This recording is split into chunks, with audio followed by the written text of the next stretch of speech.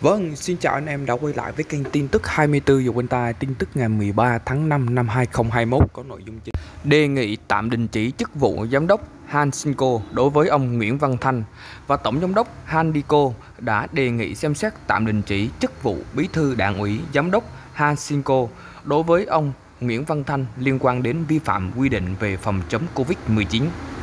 Sáng ngày 13 tháng 5, Ủy ban Nhân dân thành phố Hà Nội đã có thông tin về báo cáo của Tổng Công ty Đầu tư và Phát triển Nhà Hà Nội Handico về việc đề xuất xử lý vi phạm đối với ông Nguyễn Văn Thanh, Giám đốc Hansinco, một công ty con của Handico. Và theo đó, thực hiện công văn thượng khẳng yêu cầu báo cáo việc xem xét trách nhiệm của ông Thanh theo yêu cầu của Chủ tịch Ủy ban Nhân dân thành phố Hà Nội Chu Ngọc Anh, Handico cho biết dù có lịch sử dịch tễ đến địa điểm có nguy cơ lây nhiễm cao là Đà Nẵng, nhưng ông Nguyễn Văn Thanh đã không thực hiện các biện pháp tự cách ly theo dõi, vẫn làm việc nhiều nơi và di chuyển dày đặc từ khi trở về Hà Nội cho đến ngày 12 tháng 5. Haninco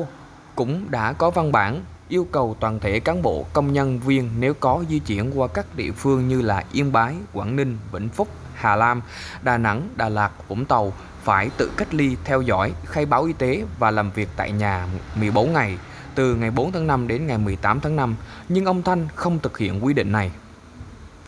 Qua việc của ông Thanh, ông Thanh chứng minh đã khai báo y tế trên cả hai chuyến bay chiều ra Hà Nội và chiều vào Đà Nẵng, nhưng chưa thực hiện nghiêm các quy định trong phòng chống dịch, chưa ý thức được các triệu chứng, bệnh lý, hạn chế tập trung đông người theo chỉ đạo có thể gây ra những hậu quả nghiêm trọng trong cộng đồng cũng như là khó khăn cho cơ quan chức năng trong phòng chống dịch văn bản của Haninco nêu rõ. Và Haninco cho rằng đây là trách nhiệm cá nhân chính của ông Nguyễn Văn Thanh và trách nhiệm tập thể liên quan của Bộ Ban Giám đốc công ty Hansinco.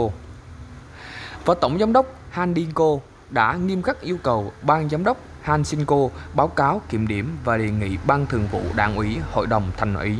Han Dinko xem xét tạm thời đình chỉ chức vụ bí thư Đảng ủy Giám đốc Han Hansinco đối với ông Nguyễn Văn Thanh để làm kiểm điểm, làm rõ trách nhiệm theo chỉ đạo của Thủ tướng Chủ tịch Ủy ban nhân dân thành phố Hà Nội và tổng công ty.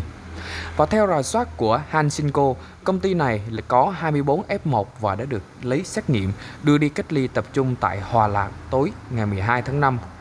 F2 và F3 cũng đã được yêu cầu khai báo y tế theo dõi sức khỏe và cách ly. Ban giám đốc Hansinco gồm 7 người thì có 6 người là F1 phải đi cách ly tập trung và thấy báo cáo nhanh của CDC Hà Nội